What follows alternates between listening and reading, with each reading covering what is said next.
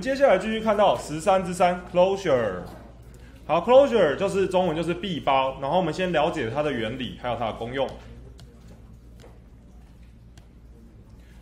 好的，在电脑科学中就是 closure。好，然后它有两种，有一种是 lexical，就是词法闭包，它的函式闭包 function closures。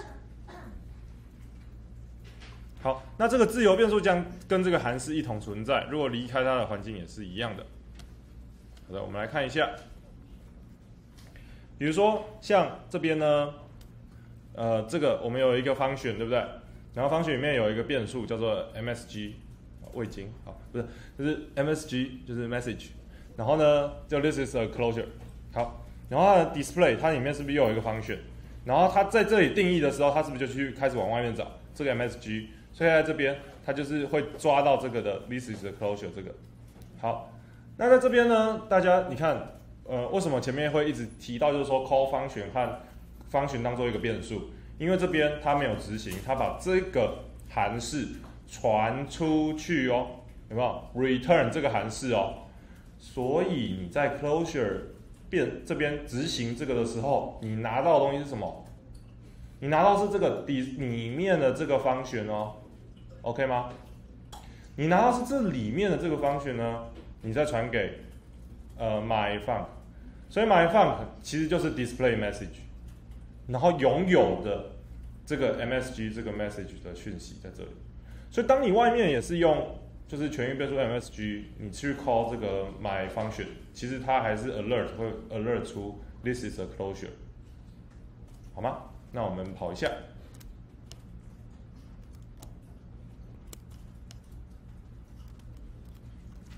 它是一个，看一下，function close closure，然后 closure 没有什么哦，var var msg 等于 this is a closure，然后呢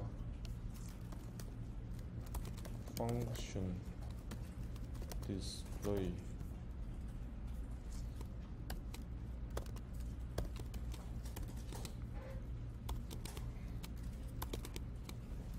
msg，然后这是在在 function 里面去 declare 一个 function，，然后这个 function 会做什么事情呢？哎，它这边用 alert，我不喜欢 alert，所以我们用 console log。因为用 alert，假如你在 VS Code 跑，可能就会炸掉，所以不想这样用。好，这边呢，我们把这个里面的这个 function 丢到外面给别人用，display，所以 MSG，然后我们这边要做什么事呢？外面再去宣告一个 var，然后这个 var 干嘛？My function。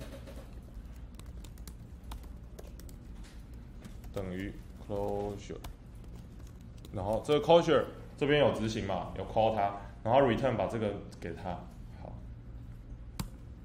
，OK，那这个时候假如说我们去执行 my function，它会给我讲说，它会执行 console log MSG 嘛，因为它是 display MSG 嘛，那如果说我今天在这段 code 的最上面，然后我去说哦，什么 var MSG 等于 This is global，对不对？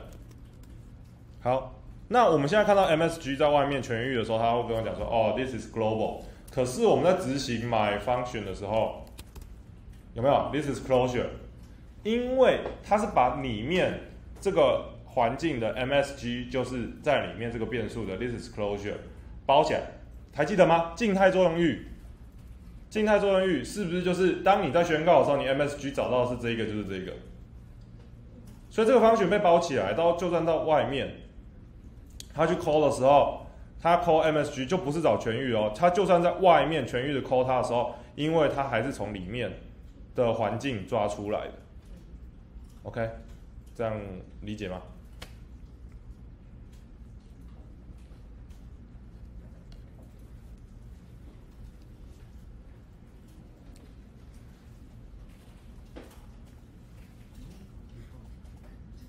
这不是跟好，这边呃这个中文你们可以去看一下，对，好，我刚才也有解释。好，闭包的功用，闭包能把你的资料透过作用域的环境把它就是包出来，可以丢出来。那使用闭包，呃，可以有什么好处呢？就是你有很多方选，有很多的 class，然后它是有方法让它 private 的能力，所以你外面是没有办法拿到里面这个方选的一些参数的。OK，你只就是你这一些方选，只有比如说你 return 出来的，或是 return 出来的方选，你是可以拿到，在里面做了。什么事情外部是无法存取的，那外面也看不到里面的变数。OK，那这个是 B 包十三之三。那本章的重点就是了解了变数领域的一些基本概念，然后呢也了解了说传统是只有方寻的作用域，那新的 ES 六是有那个 block 的作用域，那也了解 B 包的原理和应用方法。就是其实里面的一些讯息还是有办法可以传得出来的，只是你可能要把它包成是一个方旋，然后在外面再把它抠出来，这样子，再把里面那个环境叫出来。所以有时候在传的时候，就是要对 closure 有清楚的认识。OK，像之前面试的时候有考过，就是呃你里面的值在做里面的 scope 做作用域要怎么把这个值传出来，你就就要对 closure 很清楚。你要把它包成一个方旋，然后在外面再把它抓出来，其实在看里面的东西。